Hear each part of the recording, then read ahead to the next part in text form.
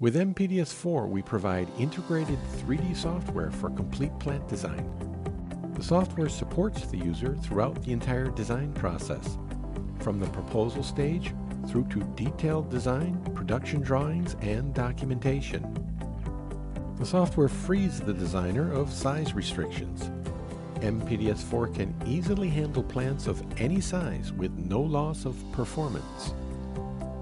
MPDS4 is equipped with a very wide range of functions that allows you to quickly design and modify plants in 2D and 3D. Due to the modular design, MPDS4 can be adapted to your specific needs and grow with your business.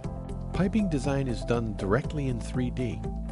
With auto routing capabilities, pipelines can be run very quickly, and a configurable consistency checker ensures the integrity of all the lines. Build complete steel and support structures with MPDS4. Detailing can be done later and appropriate parts lists, numbering, weights, and paint surface information can be exported. Create process and instrumentation diagrams from component libraries available in MPDS4. The 2D P&ID drawings can be accessed by 3D Design to drive the creation of your 3D pipelines.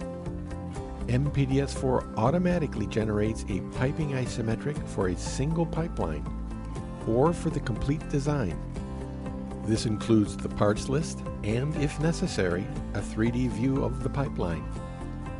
Additional modules are available for factory layout, ducting, and electrical for comprehensive plant design. Through the use of extensive catalog specifications, consistency checking, and clash detection, MPDS4 ensures and preserves the high quality of your 3D designs. For comprehensive cost analysis, extensive bills of material, detailed drawings, and piping isometrics can be quickly generated.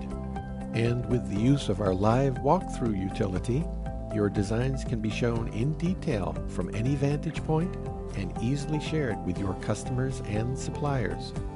Contact us today for a free trial of MPDS4. We would be happy to assist you and show how MPDS4 can shorten design time while improving your design quality. We look forward to hearing from you.